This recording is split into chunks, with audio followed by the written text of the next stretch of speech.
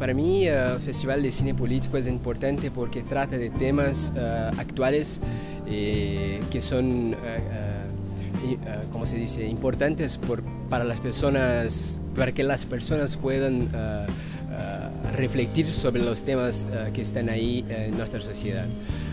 sobre el tema Bellatrix, sobre la película Bellatrix, es una película que cuenta la historia de Laura, es en un híbrido documental uh, ficción, cuenta la historia de Laura, una personaje ficcional que mira documentos políticos en la televisión y después uh, vaya en busca de respuestas de estas manifestaciones de políticos con pesquisadoras y, y personas que trabajan la cuestión de género.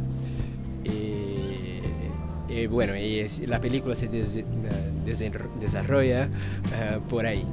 Eh, es una cuestión también actualmente que es muy importante de se tratar la cuestión de género y de, de las mujeres, porque en Brasil hoy tenemos muchas uh, luchas en relación a eso y nuestro gobierno también no, no se muestra muy uh, receptible a este, a este tema. Entonces me, me gustaría de hablar eso y hacer refletir las personas.